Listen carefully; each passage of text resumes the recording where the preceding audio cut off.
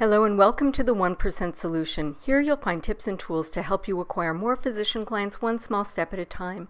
I'm Dr. Vicki Rackner, your host. Today I'd like to offer you some phrases that can help you persuade your prospects and clients. You can keep them in your back pocket to build your ability to influence. A great phrase is if you're like most doctors.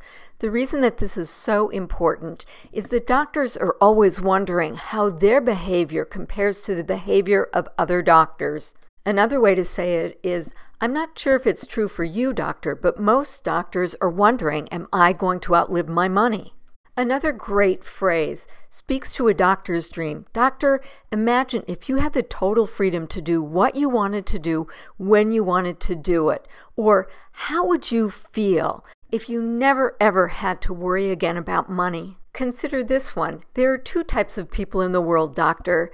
There are the people who are financial do it yourselfers, and there are the others who seek the opinion of the experts. Here's a very powerful phrase here are three options.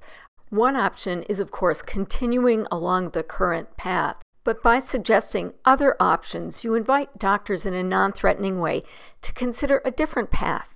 Have you ever had a doctor tell you something that you do not believe to be true, like you have to take high risk to enjoy high rewards? You can say, Doctor, what makes you say that?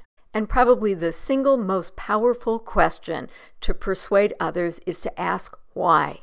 Thanks for stopping by. I hope that you found value in this content. Please feel welcome to pass this video along to your friends, your colleagues, your broker-dealer. If you've been sent this video, please go to www.targetingdoctors and sign up to get our weekly marketing materials. Thanks again for listening. See you next week.